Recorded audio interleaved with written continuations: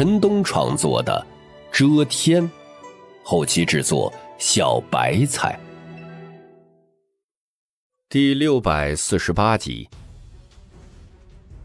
叶凡数种意象合一，青莲、仙王、阴阳图、锦绣河山、金色的苦海连在一起，像是在演化天地，自画一方净土。天地初始，万物出生，有勃勃生机，也有毁灭之力。叶凡独立中央，如一尊开天辟地的神奇，成为绝对的主宰。华云飞终于是变了颜色，被镇压在圣体的意象中，绝对九死一生。传说向来如此，没有几个人可以突破出去。强强强的。他用力地拨动琴弦，天空中的九个小世界之门越发的恐怖了，不断地向下压落，想要打破禁锢。轰的一声，小世界之门大崩溃，浩荡下灭世的契机，冲向叶凡的意象，要毁灭一切。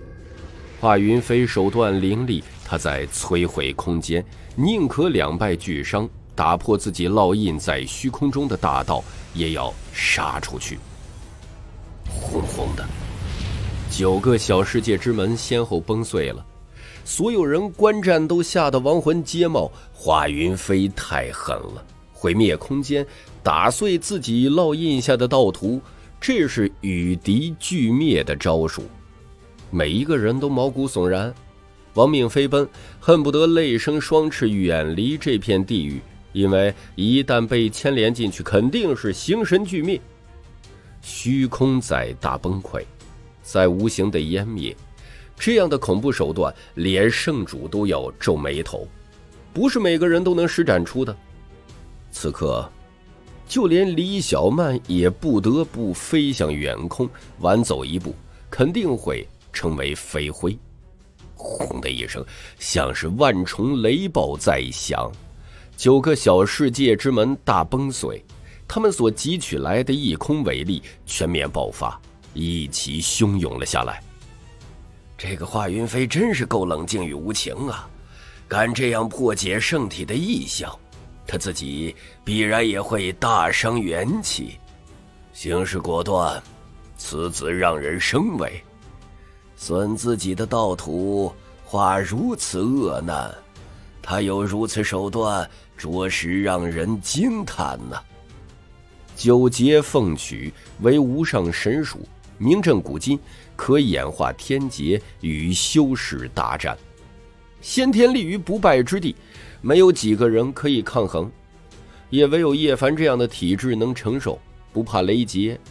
不过此时他却大蹙眉头，九节被引爆了。虚无之力沸腾，横扫而下。纵然是他，也不易迎风。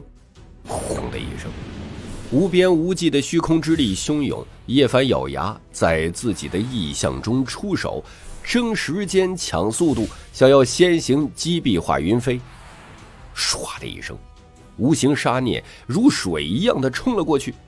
叶凡像是一个熊熊燃烧的黄金战神，挥动异象而下，打得华云飞浑身皲裂。李小曼惊叫：“叶凡，你怎么能这么无情呢？关师兄，好恐怖的异象，圣体之威让人胆寒。”所有观战者都发寒。华云飞表现出来的战力何其强大，绝对是可以睥睨年轻一代。可是眼下却被镇压的将要粉碎了。华云飞，杀四级大圆满境界的修士如斩草一样容易，杀化龙秘境的修士也不成问题。可是眼下却……众人看到这一结果后，全都变了颜色，莫不惊悚。砰的一声，华云飞的身体四分五裂。一下子冲向了四方，留下了一大片血雾，惹来一片惊呼声。这样一个强大人杰就这样死了。叶凡携意向横渡而去，躲避天穹上汹涌来的虚空之力。这是一股灭世的契机，让他忌惮不已。轰的一声，虚空崩塌，彻底毁灭。幸亏是在空中，不然这片地狱肯定会被抹平，也不知道要有多少人死于非命。李小曼惊呼，其他人也都叹息：一个强大无比的俊彦，能够展出九节凤曲，前途无量，就这样被击杀了。忽然有人惊呼：“什么？他没有死，浴火重生，黄劫再生术？”许多人都大吃一惊。远处，华云飞四分五裂的身体化成几道光束冲向一起，他复生了过来，完好无损。许多人都瞠目结舌，明明见到他被斩杀了，现在却又复生了过来，体型重组，并没有一丝异常。此子有大机缘，居然得到了这样失传已久的无上神术——黄杰再生术。堪称不死奇功，玄奥莫测。掌握了它，等于多了一条命。九节凤曲与黄劫再生术同源，合在一起名为凤凰劫，为世间无上天功。他果然有不世天缘，居然得到这样的传承。每一个人都惊叹，莫不羡慕不已。这两种古老的奇术也不知道失传多么久的岁月了，如今却被一人所得。叶凡向前逼去，你还真是难杀呀！他自然不会罢手，打定主意要留下华云飞的性命。华云飞轻叹：“叶兄的实力让人生畏啊，不过却很从容，并无怒意与沮丧。”叶凡虽然很强势，但是却不敢大意。此人极度强大，肯定有无比厉害的后手，是生死大敌。有人低声说道：“我怎么觉得华云飞不会比神王体弱，是瑶光圣子那样的存在啊？”的确如此，九节凤曲攻杀之力震势，在同代中，除却圣体这种体质外，几乎没有人扛得下来。此子高深莫测呀！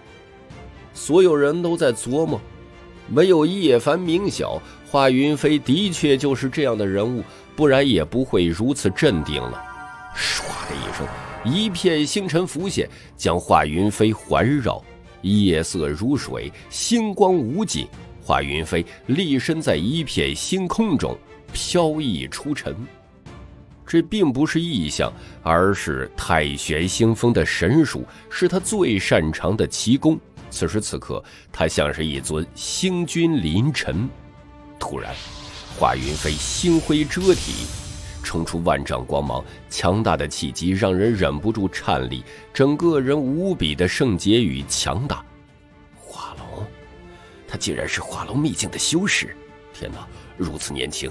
已经是化龙秘境的强者，太不可思议了！